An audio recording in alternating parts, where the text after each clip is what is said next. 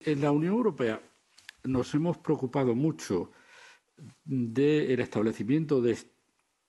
estructuras o formatos jurídicos que permitieran trabajar a las instituciones públicas, a los estados, a los gobiernos, a las administraciones regionales y locales, y por arriba hemos llegado hasta un estatuto europeo de los partidos políticos. Por abajo, la creación como idea política de un demos europeo se cimenta en la idea de ciudadano, derechos de cada ciudadano por ser ciudadanos europeos. Pero en medio de esa esfera pública de, lo institucional y, ese otro espacio de, de cada ciudadano, de la ciudadanía europea, hay un enorme espacio en el que aparentemente la Unión Europea no ha sido capaz de encontrar un formato jurídico que permita trabajar a escala europea. Y eso a pesar de los muchos intentos habidos y de la evidencia de la necesidad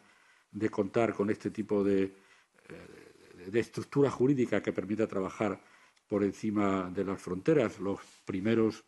intentos provienen de los años 80 y está eh, perfectamente identificado cuáles son las dificultades, lo han dicho los autores del estudio, lo ha dicho Sergei,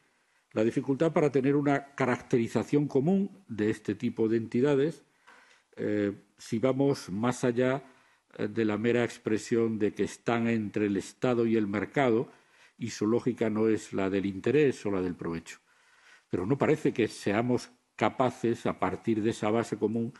de poner de acuerdo a regulaciones diferentes y a veces divergentes eh, por los Estados miembros de este tipo de entidades. Y, ese, y además hay otro obstáculo que este a mí me parece previsible, porque este sí es un obstáculo que ha encontrado la Unión Europea en otros muchos ámbitos y es eh, algo que afecta mucho a la posición de los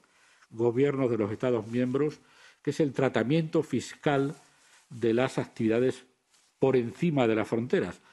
algo que los Estados ven como mínimo con algún grado de, de sospecha, porque va asociado seguramente a, la impresión de que hay pérdida de recursos para la hacienda estatal. Y esa dificultad eh, se traduce en unos procedimientos administrativos lentos y caros. Y el hecho de que no haya una estructura europea que dé cobertura a estas entidades se traduce en un gasto que seguramente nos podíamos ahorrar y en una falta de valor añadido que sería más evidente si, no, si esas entidades no tuvieran que hacer ese, gasto. Eh, yo creo, por tanto, que no, se trata solo de regular, que ya sería suficiente éxito, Sergei, si lo conseguimos desde el Parlamento, proponer una regulación común europea del concepto de estas entidades, pero que el objetivo tiene que ser promover que estas entidades, teniendo esa fórmula jurídica más sencilla, trabajen por encima de las fronteras. No se trataría, en mi opinión, solo de regular lo que ya existe, sino regularlo de manera que provoque